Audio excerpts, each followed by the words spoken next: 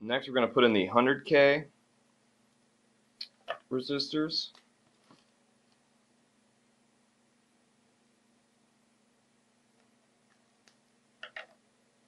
And those are marked.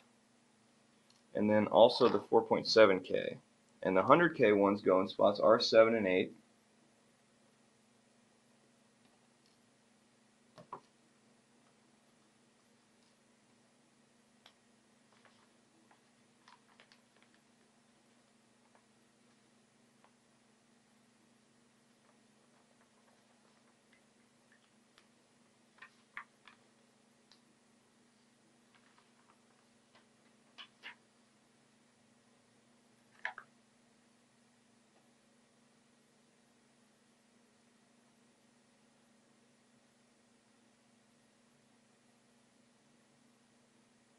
So I'm just going to bend those the same way I've done all the rest of them.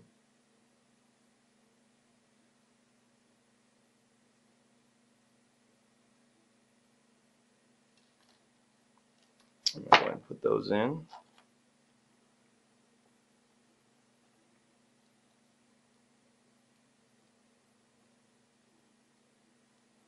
It slides in there pretty nicely there on 7.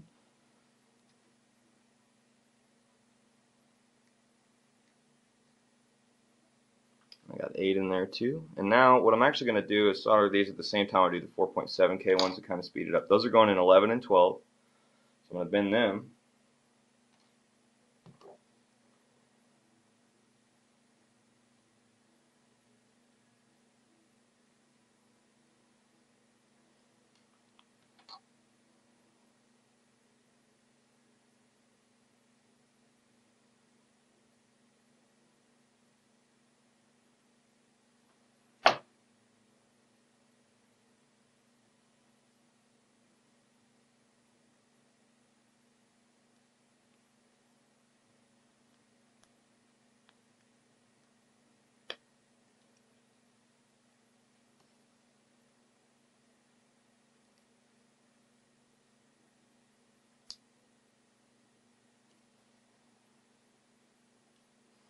So now I have all those in there.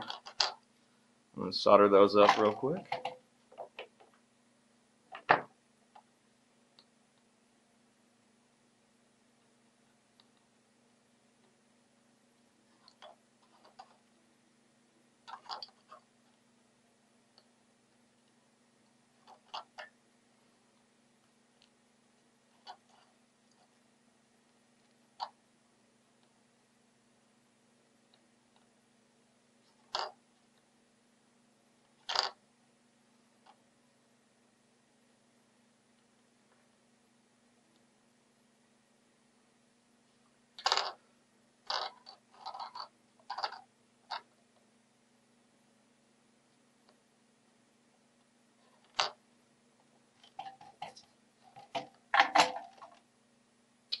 Clip all the leads.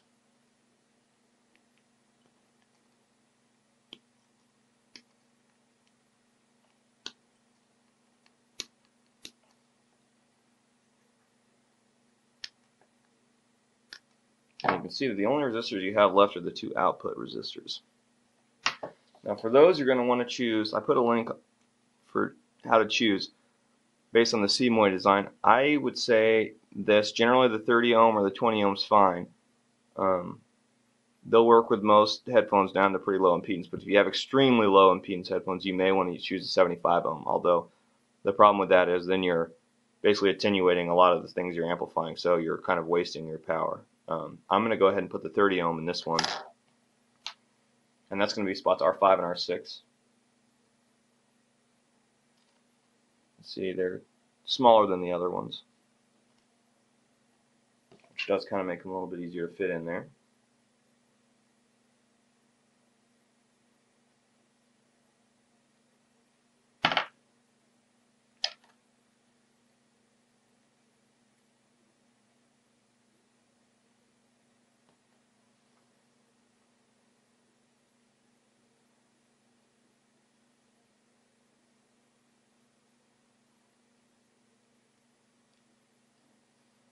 So I now have those two in place.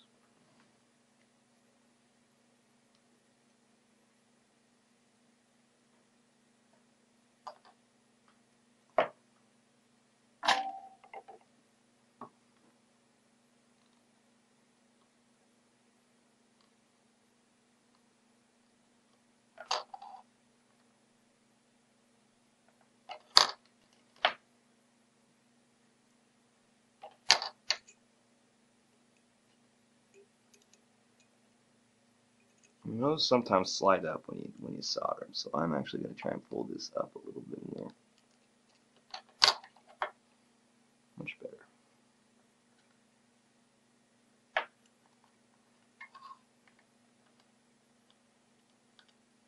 Okay, you can see there. That would focus. You can see that they're in place.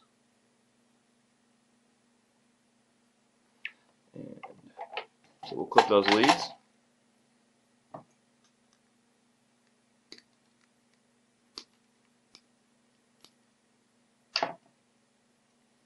And now we have all the resistors in place. Next we're going to put in the capacitors.